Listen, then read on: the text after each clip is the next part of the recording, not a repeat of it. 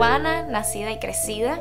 Estuve viviendo allá la mayor parte de mi infancia y mi juventud, mi adolescencia. La actuación para mí es maravillosa. Maravillosa, me hace involucrarme en diferentes personajes, me hace sentir eh, propia, quién soy, hago realmente lo que me gusta. En Cuba tuve eh, varias posibilidades de participar en obras, sobre todo teatro infantil. Tuve mucha influencia de La Edad de Oro, libro escrito por José Martí. Excelentes eh, anécdotas y aventuras dentro de ese libro y por supuesto en, en la juventud hice algún teatro precisamente con obras de, este escritor. Los zapaticos de rosa, el camarón encantado. Una anécdota muy bonita dentro del camarón encantado, recuerdo que eh, me sabía la obra completa, todo lo que era la narración, todos los diálogos, y a mí me tocaba ser la narradora en esa obra. El día de la, de la actividad, el muchacho que le tocaba ser el, el, el leñador, que es más bien el protagonista, pues le dio un ataque de pánico y dijo que no podía salir a la obra.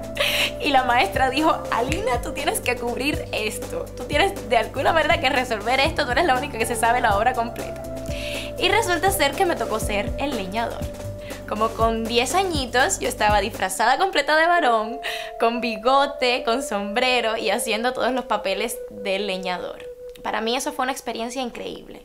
Me hizo sentir que definitivamente podía entrar en cualquier personaje, que la actuación te llevaba por un mundo increíble, por un mundo en el que tú puedes navegar con tu imaginación, con tus diálogos, con tus expresiones. Y desde ese entonces dije, sí, esto es lo que me gusta, esto es lo que quiero hacer. El Zapetita Dos Palmas es su apellido, pero todo el mundo la conoce como Petita. Petita, ¿por qué? porque Petita es una niña eh, divertida, una niña entretenida, una niña mimada, una niña sola. Ha estado sola mucho tiempo, así fue como me planteé el personaje. Eh, me lo estudié de esa manera. Para mí Petita era una muchacha que fue criada de chiquita por su mamá, medio loquita igual que ella. La dejó sola en muchas ocasiones. Eh, Petita decidió mudarse a través de conocer a amigas como Débora a Mondora, pueblo al norte de Orlando. Petita se muda allá sola, queda embarazada. Petita tiene un niño, pero Petita es inmadura. Petita es chiquita, Petita es infantil, no sabe cómo lidiar con la maternidad. Y definitivamente, pues por parte de su inmadurez, por parte de su, de su adolescencia sin terminar, pues entonces sale a la calle a buscar lo que no encuentra, lo que no tiene en su casa. Eh, trabaja en bares, trabaja de noche. Petita quiere buscar amor donde quiera. Muchacho del, del pueblo que trae a loca a todas las muchachas. Y para no quedarse afuera Petita, pues también la trae loca a ella. Juvenal es un muchacho súper mujeriego. Y Petita lo sabe. Y Petita lo sabe, pero cree que, bueno, pues que él la va a querer a ella. Y ella con todo y su inmadurez, pues siente que lo quiere, que lo quiere mucho y que lo quiere a su lado. Y entonces eh, Petita juega mucho con eso, juega con Juvenal.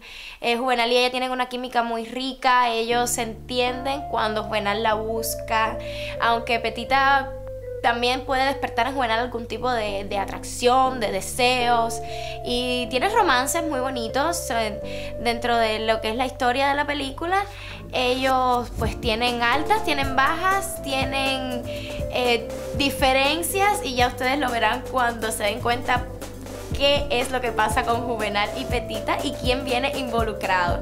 Mi primer proyecto de este, de este modo, mi primer largometraje. Me siento súper honrada, muy contenta de que me hayan escogido, que el, hecho de que, de que me hayan llamado fue un poquito loco. Yo estaba en mi casa muy tranquila, no me imaginé, sabía de la película, sabía de la, del proyecto, pero no pensé que iba a estar involucrada. Entonces me llama Johnny y me dice, pues Alina, eh, necesito que me digas si quieres participar o no en este, en este proyecto.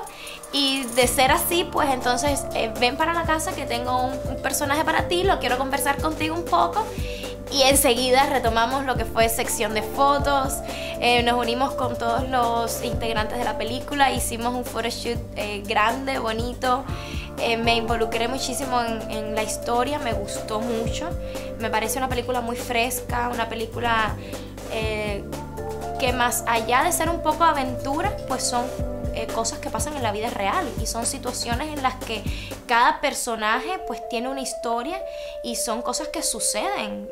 Hay personas así. Anécdota. Nos sucedió que en medio de la, de la escena de la grabación, una de las personas que estaba involucrada en una de las escenas pues no pudo estar y hubo que cambiarlo todo así de rápido. Johnny dice, yo escribí la película, yo escribí la escena, yo la puedo cambiar. Así que muchachos, pónganse las pilas que el guion cambió y nosotros como que, ¿cómo que el guion cambió? Sí, vamos a hacer esto, esto es lo que va a pasar ahora y con suerte y, con, y con mucha alegría y con mucho, con mucho dinamismo, pues se cambió, se agregaron unas cositas nuevas y, y me sentí muy rico, muy rico porque además de, de todo lo que fue el guion, de todo lo que fueron los parlamentos que ya estaban establecidos, pues también tuvimos improvisación. Y eso es algo que tú vas a tener que ver. Y vas a tener que darte cuenta en qué parte de las que sale Petita es un poco improvisado.